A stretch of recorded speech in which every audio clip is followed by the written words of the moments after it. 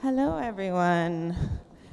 Thank you so much for being here for the final session of, of all of ConsulCon. Um, very grateful for you for staying and grateful for these amazing presenters here.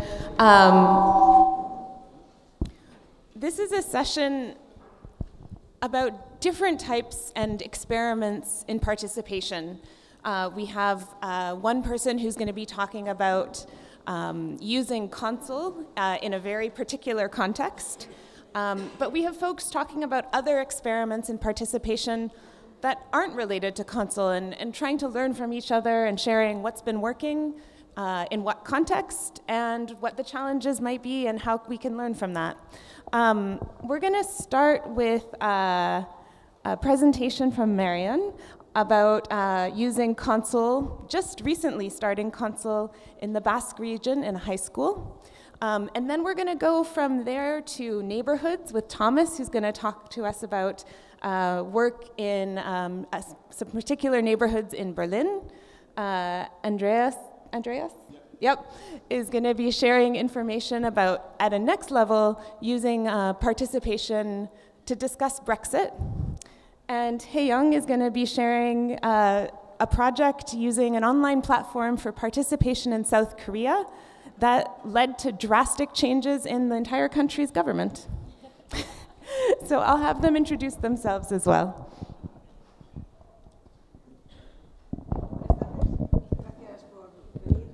Soy María Muguerza, directora de un instituto de enseñanza media en Guecho, en Vizcaya, en el País Vasco, y he venido a contar eh, lo que estamos haciendo en el instituto con Consul. ¿De acuerdo?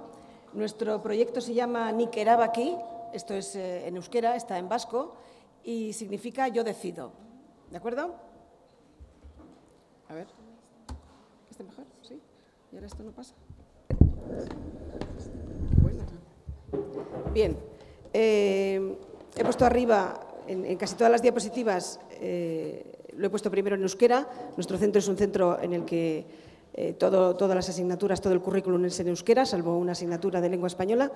Y, lógicamente, es nuestra sedia de identidad y, así lo hemos querido reflejar tanto en el nombre del proyecto como en estas diapositivas que tienen primero en, euskera, en vasco, el, lema y luego en castellano. ¿De acuerdo? Bien.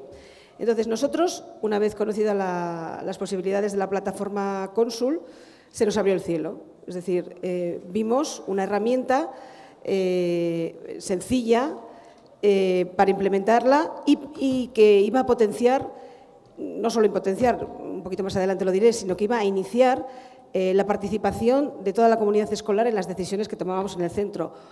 Eh, cosa que era muy difícil o era en ocasiones y en otras ocasiones era minoritaria. Entonces nosotros, a través de Consul, hemos eh, diseñado un, proyecto de participación en tres fases, por trimestres académicos. En el primer trimestre académico, que terminará para nosotros en diciembre, eh, estamos con los presupuestos participativos. Esto ha sido lo primero que hemos iniciado. Después, en el segundo trimestre comenzaremos un debate sobre cuestiones organizativas que implican a todo el centro estos presupuestos participativos solo participan el alumnado. En esta segunda fase, en los debates sobre las decisiones organizativas, queremos que participe el alumnado, el profesorado y también las familias. ¿De acuerdo? Y luego ya, en el tercer y último trimestre del curso, queremos eh, hacer mm, ciertas consultas, los profesores queremos hacer ciertas consultas a los alumnos para saber qué, cuestiones didácticas eh, en nosotros son mejorables. ¿no? Bien, ¿cómo lo hemos hecho? Eh, en un principio, evidentemente, cuando comenzó el curso en septiembre no teníamos la plataforma montada, pero queríamos empezar a moverlo porque queríamos que, eh, el primer trimestre fuera el de los proyectos participativos. Así que eh, hicimos una campaña de difusión del proyecto, pero mm, sin, sin cónsul. Los profesores tutores se acercaban a los alumnos, les contaban en qué iba a consistir y tanto el debate como las propuestas se hacían cara a cara y las propuestas por escrito. ¿no? sí que les dijimos que estábamos preparando una plataforma y que eso mismo que estaban haciendo cara a cara, eh, después de alguna forma podrían hacerlo con su teléfono móvil, desde casa o cuando ellos quisieran. Eh, claro, cuando vimos la primera vez eh, la interface de, Consul, nos dimos cuenta que está creado para lo que está creado, para la participación ciudadana, lógicamente. Y había muchas cuestiones que no nos encajaban. bueno, poco a poco hemos ido descubriendo, menú tras menú, ¿no? dónde mm, cambiar, ciudadano por alumno o por alumna, y ciudad por comunidad escolar, etcétera. ¿De acuerdo? Entonces, hemos ido eh, adaptando o adecuando el entorno de cónsul a nuestro entorno educativo. No, voy a mostrar ahora la página web, que está en este enlace, termino la exposición y si después me quedan un, par de minutillos ya, eh, os muestro cómo es eh, nuestro, nuestro cónsul. ¿no? Bien, he hablado de que en este primer trimestre estábamos con los presupuestos participativos y ya he dicho que primero lo hicimos de forma presencial. Eh, aquí también tengo un vídeo que, ellos mismos hicieron, que los alumnos y las alumnas hicieron, cuando hacían estos debates en clase. ¿no? Eh, el proceso siempre era eh, a base de reuniones. La directiva se reunió primero, después nos, reunimos con todos los profesores tutores, los profesores tutores se reunían con su grupo semanalmente, los delegados de cada clase se reunían también entre ellos y luego se reunían con nosotros. Y pasado un mes de estos debates cara a cara, ya pudimos comenzar con el debate de cónsul. Claro, cuando se, mm, lo que hemos podido ver de cónsula en las ciudades, ¿no? cuando se consulta a las ciudades, se consulta a todos los ciudadanos y a todas las ciudadanas. Pero mm, nos planteamos que eh, ante la comunidad escolar nuestros alumnos y alumnas tienen entre 12 y 17, 18 años. En la comunidad escolar nos pareció más adecuado organizar por lo menos los debates por niveles. Y entonces eh, preferimos que los de primero de secundaria debatiesen entre ellos y así sucesivamente, segundo, tercero, cuarto, primero y segundo de bachiller. Eh, lógicamente no es la misma mentalidad la de un alumno o una alumna de 12 años que la de uno de, 17. ¿no? Después, las propuestas son todas comunes y la votación también es para todos. Solo los debates es lo que hemos pensado hacer por niveles.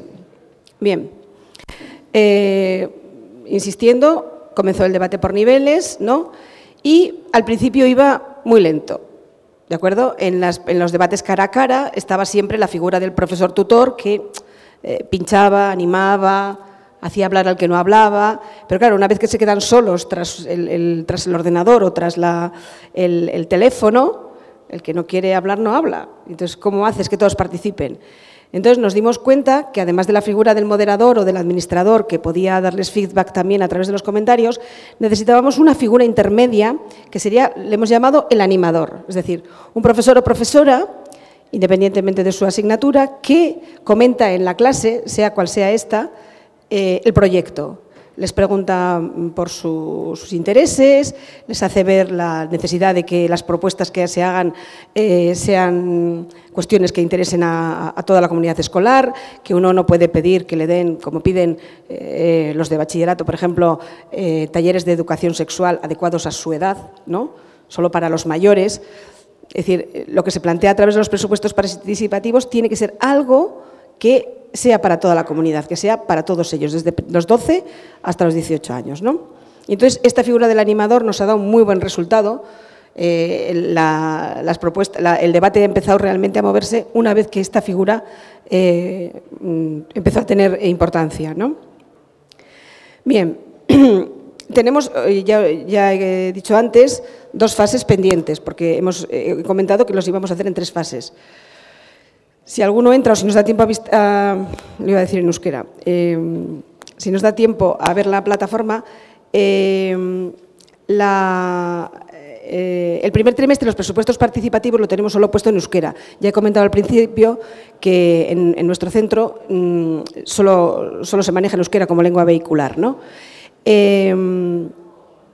En el segundo trimestre pensamos, como pensamos incluir a las familias, eh, ponerlo ya en, castellano, porque eso sí, no todas las familias son eh, euskaldunak, no son hablantes de, euskera o de vasco, y en el tercer trimestre, ya que nuestro centro también es trilingüe, pensamos ponerlo en inglés. Bien, entonces las fases pendientes son estas dos que quedan. Ya los he comentado antes, es repetirlo sobre lo mismo. El debate sobre las decisiones organizativas que implican al centro, por ejemplo, horarios, ¿no? Pensamos consultar sobre si el alumnado y las familias quieren horario continuo u horario partido. En el País Vasco tenemos horario partido, por ejemplo. Y luego, ya he dicho, en el tercer trimestre, las consultas sobre cuestiones mejorables. Vale, voy a toda prisa. ¿Qué hemos conseguido? Bien, abrir la vida del debate, que es importante, implicar al alumnado en todas las decisiones del centro y, curiosamente, hemos conseguido algo que no esperábamos, pero lo hemos, lo hemos visto desarrollado a lo largo de estos días de debate, ¿no? que es visibilizar a las alumnas. Eh, de cada 10 alumnos que hacen una propuesta o que entran en el debate, 8 son chicas. Y esto nos ha dado eh, mucho que pensar, ¿no? Y, de alguna forma en nuestro centro, que también tiene un gran proyecto de, de, que se llama de coeducación, eh, está muy agradecido a este tipo de, de estudios y de conclusiones. Bien, ¿qué queremos conseguir en lo que nos queda? seguir promoviendo la participación que hasta ahora era casi inexistente, era mínima, un representante, dos en los consejos escolares, siempre delante de los adultos, los pobres no abrían la boca, ¿no? Eh, y luego esta idea de que mm, hay que aprender ¿no? mientras se actúa y que la mejor manera de aprender es actuar sobre las mm, necesidades reales del entorno. Con, la finalidad de poder mejorarlo. Esto es lo que queremos enseñarles. Y, por supuesto, implicarlos eh, a todos los niveles en la toma de decisiones del centro para que el centro sea de todos y no solo del profesorado. Y fin, Muchas gracias. Aquí tenéis mi contacto, el, correo electrónico de la dirección, de la directora que soy yo en este caso, y el teléfono. Lo único que queremos es que esto se extienda. Cuanto más se extienda, más difícil será de volver atrás. ¿no? Yo pensaba que éramos más los centros escolares que habíamos implementado esto. Aquí me, sorprendido, me ha sorprendido ver que no, que son muy pocos o no hay más. Y en Madrid sí que pensaba encontrarme alguno y me hubiera gustado ir o conocerlo, pero parece ser que tampoco hay. Así que, amigas, amigos, hay que ponerse las pilas. Esto es importante. Los ciudadanos no nacen como los hongos cuando llueve tras la lluvia. Hay que formarlos y nos preocupamos mucho de los ciudadanos, nos preocupamos de la infancia, pero ahí hay una especie de bolsa entre los 12 y los 17 años que es un, es un núcleo importante de futuros ciudadanos a los que formar. Muchas gracias.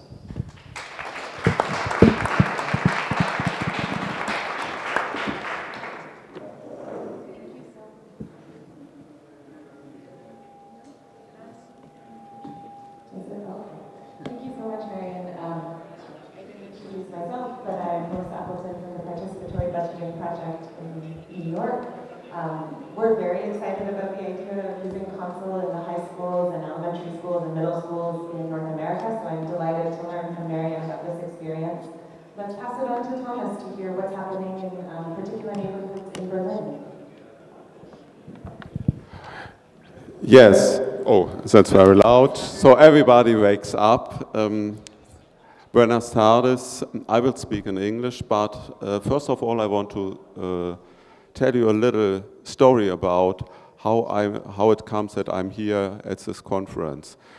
A long time ago, I made a stage in the Ayuntamiento de Valencia, and there was no culture of citizen participation at all.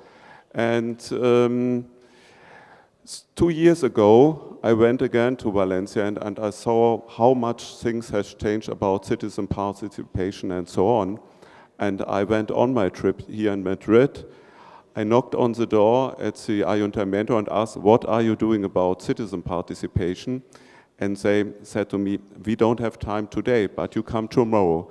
And so that was the story. I met Miguel, and I met a lot of other guys, and therefore I'm here, and I will tell you what we are doing about citizen participation in a specific neighborhood in Berlin. It's, it's a very famous neighborhood for the moment because it's very popular among young people, so everybody who owns a Lonely Planet tourist guide, he will be led to the district of Neukölln, but there are a lot of other things. Um,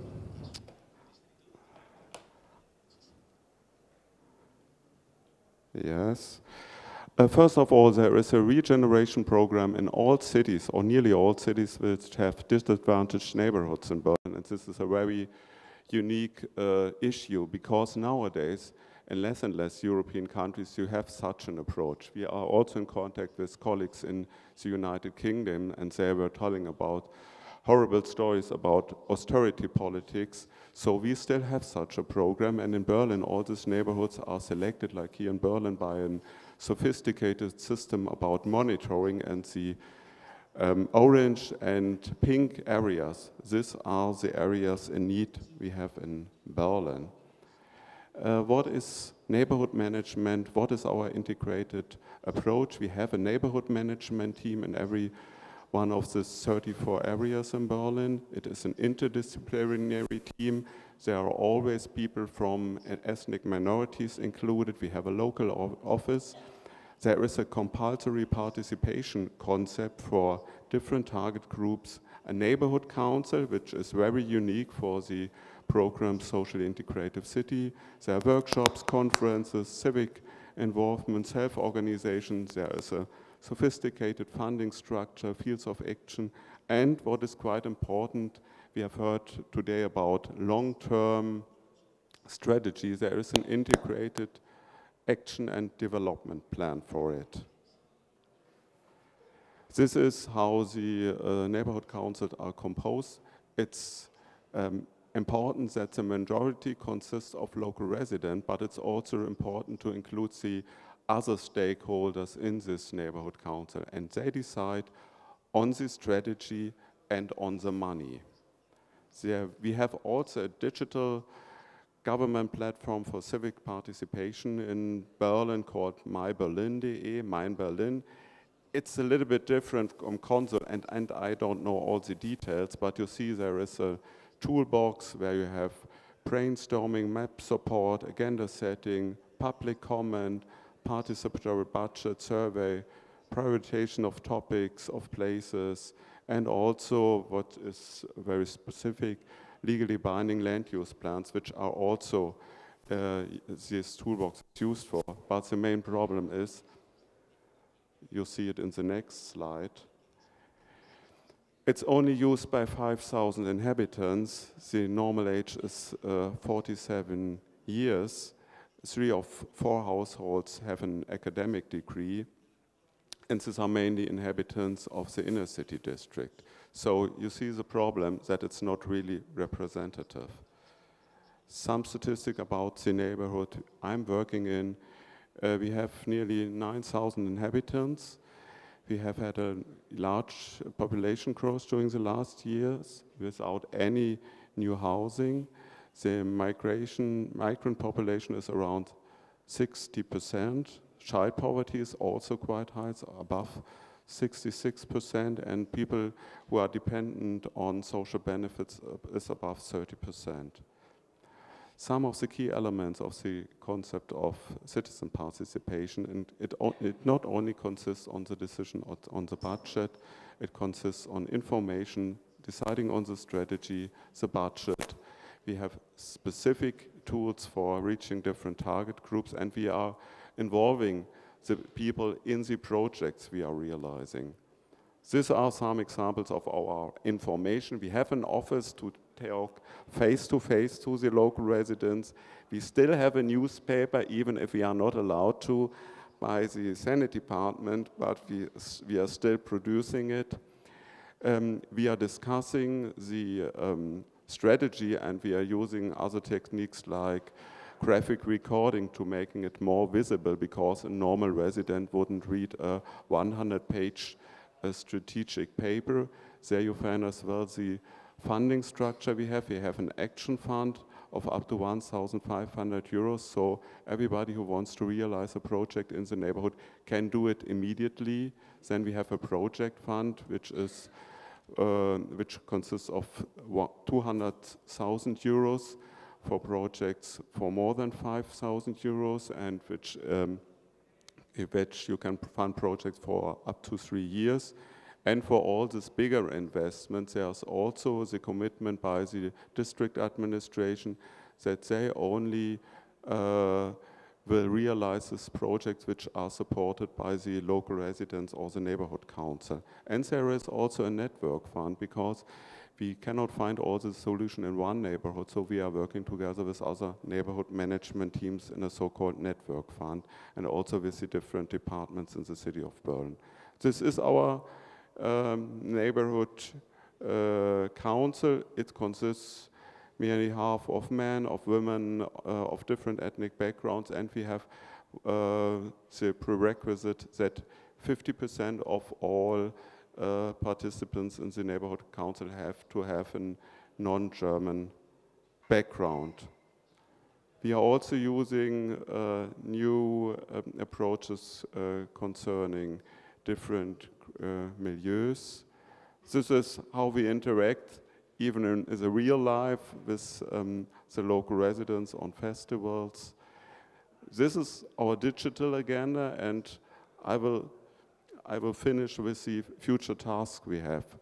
One task will be connecting citywide online participation platforms with our local approaches, because there is this digital agenda in Berlin, and there are all the strategies about smart cities, but normally the disadvantaged areas don't play any role in this strate uh, strategic considerations of the city. How can we combine analog and digital tools, tools to engage and empower different social and ethnic groups? From our point of view, trust can be only built by humans. And this is the last what um, our main task is as well transforming the public infrastructure to facilitate citizen participation. Because up to now we don't have in every school computers, laptops, uh, wireless LAN and so on. So this is also a very different, difficult task to make it possible that everybody can um, use this tool of participation he wants to use. Thank you very much for your attention.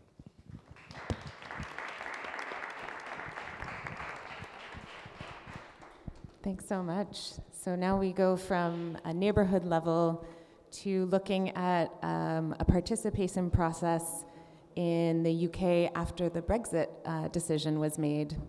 Um, Andreas, tell us what Involve UK has done. Yep. Uh, Uh, hi everyone, my name is um, Andreas Pavlou. I am the network lead at Involve, which is a public participation charity based in the UK. Uh, we run projects, we run engagement projects uh, with government, with parliament, with uh, local authorities to uh, bring people into the decision-making process. And we also run innovative projects where we try to demonstrate the uh, value of deliberative methods as a way to overcome often complex, um, controversial, or what's often considered to be impossible to solve uh, problems where politicians or elected officials aren't necessarily able to, to, to agree. So that's the kind of thing that we do. It's not um, tech, it's not um, digital in many ways. Uh, we do use some digital tools, but very basic ones. Uh, and it's all about getting people to sit around a table and to chat and to uh, find common ground and to come to kind of common understandings of the issues that uh, affect their lives. So we thought to ourselves last year, what's a really complicated issue in the UK uh, where people are polarized, where people cannot agree, where there seems to be no obvious answer, and where it just seems helpless and hopeless? We got this group of people together, a representative sample of the UK public, um, to talk about the issue of Brexit. Uh, obviously, in the UK, it's a little bit complicated uh, to find people who might agree on Brexit uh, in any, whether they both remain, both uh, leave, uh, either side, or any shape or form of what Brexit might look like. So, what we did is we brought together um, 50 members of the public these guys, to talk about recommendations and provide recommendations for uh, post-Brexit policy. So we took, for, we took the result as a given. We're not going to redo the referendum discussion, which was just uh, uh, not necessarily a great way to do politics in the UK. And we decided, okay, so if we're going to leave the EU, what should our trade look like with the EU? and what should our migration policy, another of the main issues around uh, the Brexit referendum, look like. We um, got in contact with a, we were doing this with uh, King's College London, and uh, we got 5,000 people well, we asked them whether they would be interested in such a uh, citizens' assembly, and we basically were able to whittle that down to 50 people. So those 50 people were a representative sample of the UK public, socio-economic, male, female, um, regional, like geographic um, representation of the different countries and regions of England and the rest of the UK. And um, importantly, we made sure that the people who were going to be part of the Citizens' Assembly were representative of the vote as well. So we had more people participating who wanted to leave the EU than those who wanted to remain in the EU, as was the referendum result.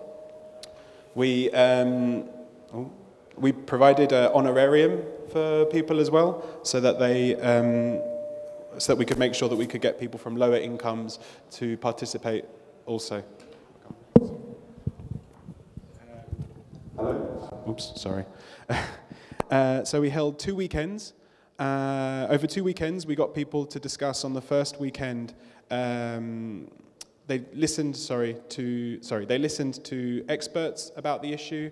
They uh, read briefing papers on the various topics of migration and trade uh, with the EU. They were able to um, ask questions to the various uh, experts that were in the room, and we made sure that we had experts who were both for leaving the EU and those who wanted a closer relationship with the EU, so that we could um, bridge that breadth of uh, debate.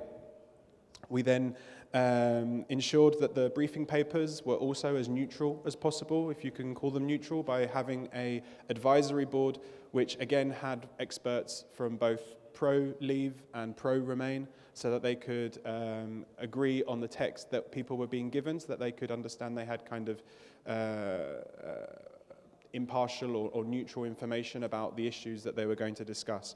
In the second weekend, we um, got people around the table. We got people to deliberate, to discuss the issues, to um, think about the recommendations that they were going to give uh, or make around the issues of trade and uh, migration policy. Um, there we go. So if we go here, and I'm sure people would probably be interested. I see, click.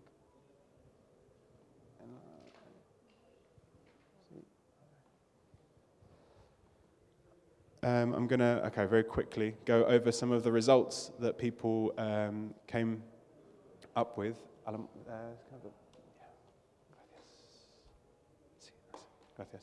so uh, we asked people firstly what they think the UK policy objectives should be for um, negotiating on trade. So people talked about things like minimizing harm to the economy, maintaining living standards, protecting workers' rights, uh, avoiding a hard border with Northern Ireland, uh, with Ireland even, all the issues which basically right now, if you look at the UK news, are not necessarily the ones which are being uh, prioritised by the UK government in the way that it's going about um, negotiations.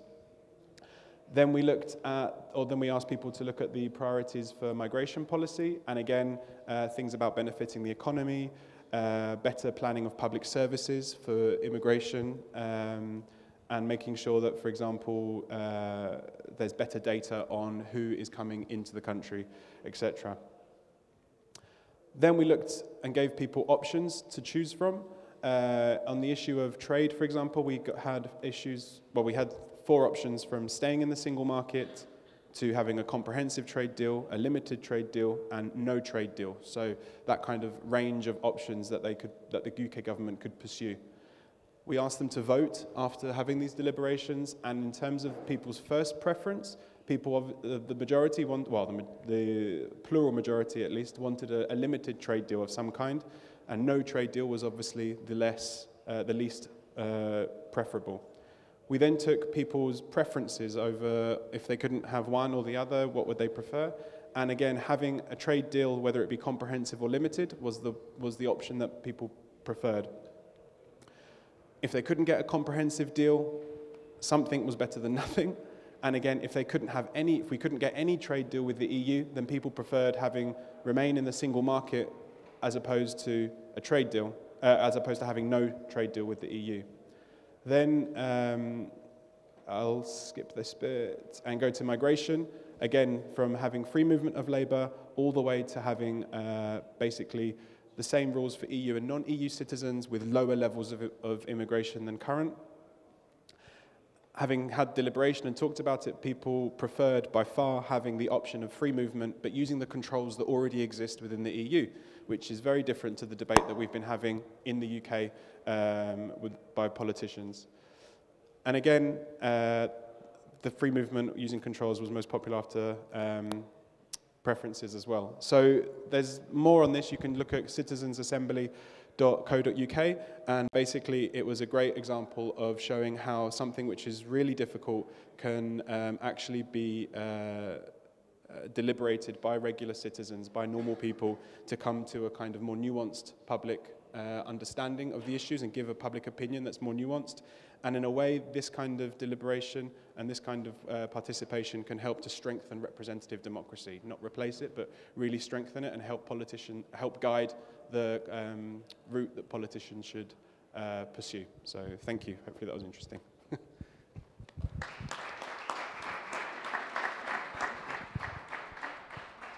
Thanks so much, Andreas. So, Young is going to talk to us about uh, the work she's done in South Korea. Yes. Up and down, okay, thank you. Okay, hello. uh, my name is Young, and I came from South Korea. And I got a question about uh, which part, which part of uh, Korea did you come, uh, north or south? I know you guys uh, know north more than south, but I came from South Korea, unfortunately. So, yes. so, um, uh-oh. Because my English is not perfect, so I would like to see my script. So I came from WAGL Foundation and I have worked uh, there for six months. So I can talk about what we are doing and I will, but I would like to have more uh, talk about the context we are working. Yeah, not only just the project we are doing. Actually, I don't know uh, uh, if my leader knows this, then maybe she will kill me, but uh, she cannot kill, kill me because it's democracy. So, yeah, they, she cannot. So before, before I start my story, I would like to tell you one thing. Uh, I knew this conference is for democracy and also the citizen participation and the actions and platform system for supporting the democracy. But uh, ConsulCon, I would like to say, sadly, uh, somehow failed to host me as a citizen because I will tell you, I came here with my younger sister over there and, um, and my friends uh, because uh, she has uh, autism, uh, developmental disability, so we live together, but unfortunately we don't have a good support system for disabled people in my country, so I have to be with her always, or my friend's are supposed to be with her. So uh, when I got an email from this ConsulCon, uh, about the flight ticket. So I uh, asked about the ticket for her. Uh, can you support or not? Uh, so I waited answer, but I got the worst answer. There was not no. There, there was no answer. But the core of the uh, civil participation, citizen participation, is a feedback. So no answer is the worst answer. So uh, I hope this would not happen again. yes, and then I would like to start. So uh, for the citizens of South Korea, the democracy, democracy of South Korea was born in 19, uh, 1987. And then uh, in that year, another thing was born, and that is me. So I'm the children of democracy in my society. but uh, our, main, uh, our democracy was died in, at the same moment of its born because so many people in South Korea believes that democracy is just like the direct election of president. so because we achieved it, so uh, it's done. So our democracy was done. So in that result, even though I was born uh, with the democracy of our society, but I knew the fact we have 300 members of our National Assembly uh, only like three years ago. yeah, I knew that just in three years ago. So that's the, that is the present address of Korean society and our democracy. But the, cha the change I am experiencing is the change of our um, democracy's change. So Korean society ex have experienced a really long dictatorship And finally, we got democratized, which means the direct election of uh, president. But people's mind didn't change a lot, so we uh, have elected many strange ones. so our previous one, our previous president was a daughter of the dictator, sadly. So when she was uh, president, in 2006. So there was a ship going to an island, beautiful island in South Korea, and there was about 500 people, including the high school students, going to field trip, and it sank, and 300 people died. So the government failed to rescue them. So at the moment, we finally realized something got wrong. So uh, citizens of our society, my society, uh, decided to do something we've never done. Ah, okay. yeah, that is, uh, we brought our candles to the square uh, in every like Saturday and Sunday uh, for 23 weeks, and our population is 50 million, and among them, 17 million came to the uh, square, and we asked to the parliament to impeach our president. And finally, we succeeded. So that's why we have new president since last year. So our mission about, uh, okay, I forgot to do this. Okay, hello world. okay, so uh, my foundation, WAGL, which means We All Govern Lab, and uh, our mission is better democracy by ordinary people. In South Korea, we have really, really strong elitism. So people think elites governs, not us. But we think we have more ideas and more participation of uh, citizens. And uh, because the citizen participation became kind of trend in South Korea, so politicians using that uh, word as a fashion. So uh, they gathered opinions from the, the, citizens, but they just listen listen, that is the achievement of participation. No more, no more rules, no more stages, and no more procedures, no more promises. So that's why we made this platform, Kuke Tok Tok, which means uh, we are knocking the door of uh, National Assembly. This is very simple uh, online platform. It has three steps, making proposal, and uh, you gather people's agreement. So, and if you gather 1,000 people's agreement, then uh, we match we find the proper committee and proper member of the National Assembly to uh, achieve the proposal. So this is very simple uh, form to make proposal. Like you can uh, write your title and you can write your content as as whatever you want, and you summarize that, and you can attach image or not. Okay. So. We've been uh, running this platform for two years, and for two years we got 558 proposals from the people, and among them, 23 uh, got achieved the uh, 100, more than uh, 1,000 people's agreement. So two of them matched and became laws, and seven of them are still uh, working, uh, like making bills and campaigns. And uh, before our platform, there was a kind of petition for the parliament, but uh, for like four years, they got only the half of the number of uh, our platform. So uh, we see our uh, numbers quite, it's quite uh, significant.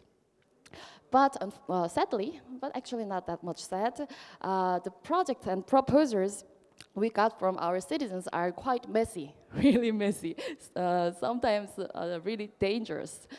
But yes, dangerous like my English. But I am very proud of my English because it means I am not elite. I'm just ordinary people from South Korea, and our uh, public education is not really good.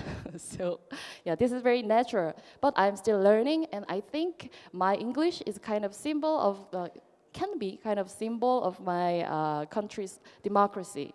Because people don't people are not good at this language democracy language but they are learning for better future for themselves. So uh, even though it's messy but i think it's really better thing to do something on the open and transparent platform and doing something for the society uh, rather than the, decide everything in the darkest closet of elites. So there are good ideas and bad ideas. We can make a world better or maybe not. but I think the most important thing is to know we have our uh, power in our hand and we can define the democracy in many ways. But for our um, foundation, uh, the democracy is feeling responsibility about this messy world. yes, yes. Uh, so I will finish. So uh, the impact our platform uh, gave to our society is uh, people started to know the idea. We have it's really natural to have.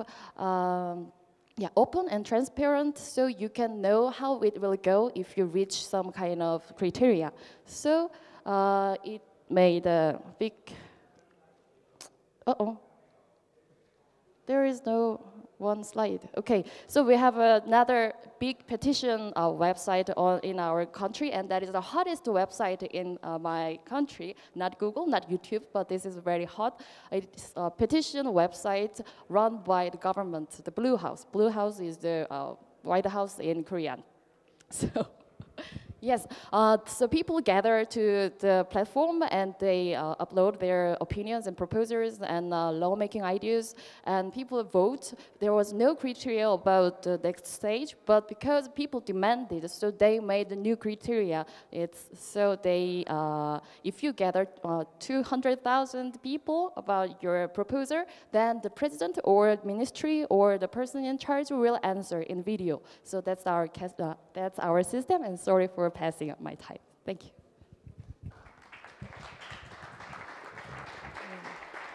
Uh, so I want to I want to acknowledge and thank you for sharing this reminder that um, participation is hard work, and in order for it to be successful, it really has to be accessible for everyone. Um, and I also want to share this reflection that I think is really um, helpful. That there's two examples of participation processes here that focus on underrepresented communities. If we think of students as not typically having a voice, um, communities that have high percentage of immigrant and migrant populations not typically having the same voice, and one of them is digital and one of them is not. And here we have two examples of input on uh, policy in the direction of a government, and one of them is digital and one of them is not. Um, so just with that, I wanted to ask one question. I know we don't have a lot of time, but the question I would ask is, uh, what's one thing you've learned from doing this that you think would be useful for folks in this room who might be considering what participation process is appropriate for their context? What have you learned or what's one impact you want to lift up?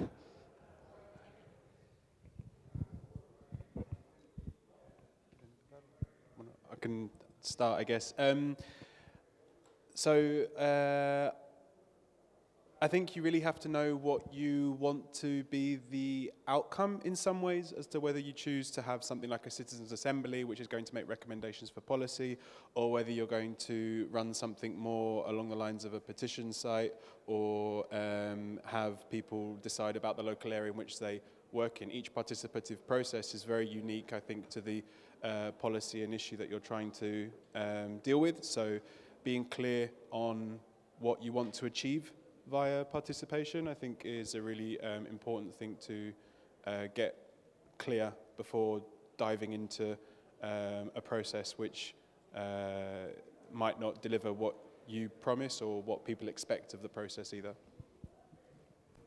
But try. bueno, eh, He dicho antes que, no sé si lo he dicho, mm, mi centro es un centro público también, ¿no? Ella ha dicho que había estudiado en un centro público, mi centro es un centro público. Y aunque vivimos en un país democrático, nos pasa un poco que pretendemos hacer como en la ilustración, ¿no? Todo para el pueblo, pero sin el pueblo. Todo para los estudiantes, pero sin contar con ellos. Realmente ha habido épocas mejores en las que la representación estudiantil era mucho más alta en los centros. Ahora no sabemos por qué, esto ha tenido un gran bajón, no sé si es porque pasan o no, pero, pero hasta ahora se preocupaban pocos por participar. ¿no? Entonces, eh, descubrir esta herramienta nos hace ver que no siempre estamos en la verdad cuando creemos que lo que hacemos es siempre bueno para ellos. Eh, eh, realmente lo creemos. ¿eh? Entonces, eh, igual en un centro privado, con una cierta ideología y demás, estas cosas no, no son tan viables, pero en un centro público no solo son viables, sino que son altamente recomendables. Nuestra experiencia es muy buena y se la recomendamos a todos los centros escolares que puedan desarrollarla. Um, what we have learned from our experiences, because we are in Berlin, we are always talking about how to reach target groups. That there are there, that there's not such a thing uh, like how to reach target groups. It always depends on your methods.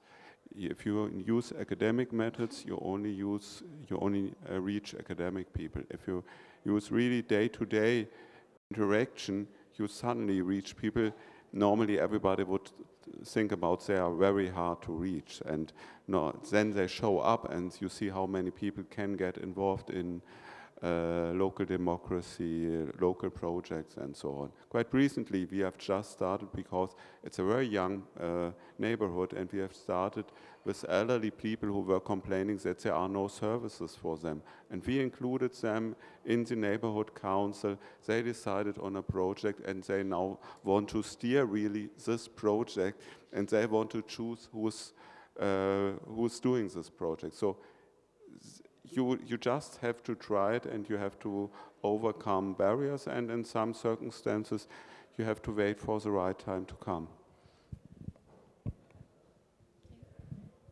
So for me, the, the, the process of Tok uh, let me know that uh, democracy is not a kind of event. It's about more dialogue and conversation and communication and circulating co uh, uh, conversation. So uh, I get used to see uh, people get disappointed when they have the result they didn't expect it. Yeah, they get really depressed and uh, disappointed. but I got used to, and maybe I think that's the right emotion for democracy somehow, because even though we feel really blue and bad bad uh, feelings.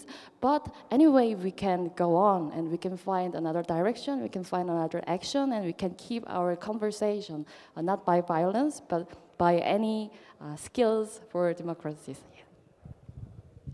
I think we have time for maybe one or two questions if someone here has something burning.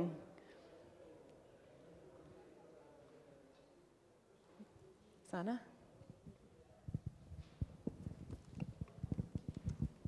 Hi, uh, thank you for a really interesting panel. Um, so I was wondering, um, Thomas, um, how you, what kind of funding you have for the different citizens funds. I didn't really understand that, like what the money come from, and then also. Um, um, I don't remember, remember your name, sorry, from South Korea. Uh, the two laws that passed, I'm just curious what laws they were. And I'm going to actually throw the funding question to everyone. How do we fund this work?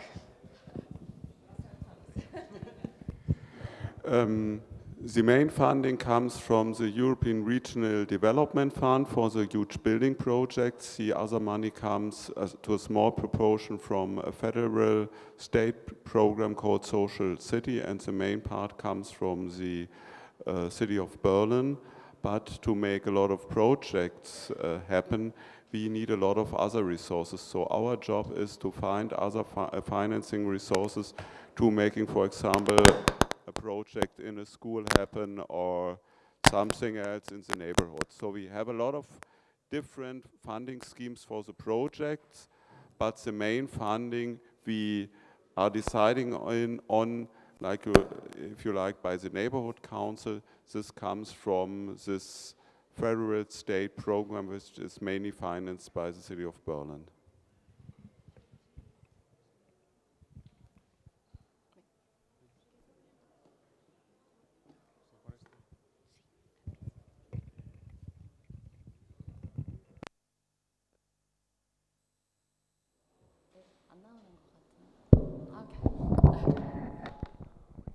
So one of the uh, project was about reducing the hospital bill for children, and another was uh, guaranteeing annual paid leave for new employees. So it's all passed, and our foundation is basically funded by citizens, yeah, not by government or not by any uh, institutions. Um, in relation to funding, the Brexit Assembly was a kind of research funding, so it was through research. It was a research project, um, largely led by Ki uh, King's College, and so we were part of that. But um, that's where they got that funding from. And uh, we run other processes, uh, one with Parliament actually, which even Parliament wasn't able to provide all the money for the process. Um, it had a very, very limited budget for citizen participation, and um, we had to get funding from grant funders, foundations, things like that. So in the UK, definitely, it's very, very complicated and very difficult to find the funding, especially as Thomas actually mentioned earlier. Um, we've there's cuts and cuts and cuts to spending, um, and at the local level, it's been completely decimated. So, funding at the local level is even harder than it is um, at the national or uh, in Parliament um, in those those levels. Bien, nuestro presupuesto es mucho más. No necesitamos tanto presupuesto para hacer algo como lo que hemos hecho, pero en Euskadi, en el País Vasco, eh, los centros eh, escolares públicos tienen una cierta autonomía, una cierta autonomía económica.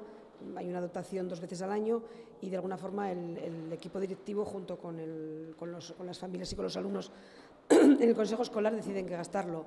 Entonces, eh, una vez que planteamos este proyecto dentro del plan anual, eh, hemos logrado la financiación, sí que nos ha hecho falta dinero, por ejemplo, pues no, no contábamos dentro del, propio instituto, dentro del propio centro, con un informático que pudiese ponernos en, forma, en, en, marcha la plataforma y lo hemos tenido que contratar de forma externa. Y entonces, bueno, pues eh, simplemente de los fondos que nos proporciona el propio Gobierno vasco.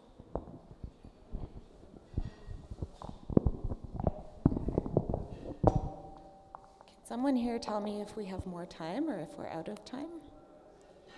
I think we're at the end. Okay. I don't want to keep you from cocktails. It's the very end of the day. Thank you so much. Thank you to the panelists. Please give them a round of applause.